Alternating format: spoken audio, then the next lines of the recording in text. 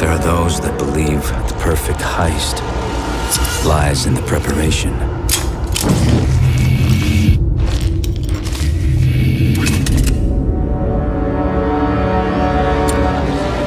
Some say that it's all in the timing, seizing the right opportunity.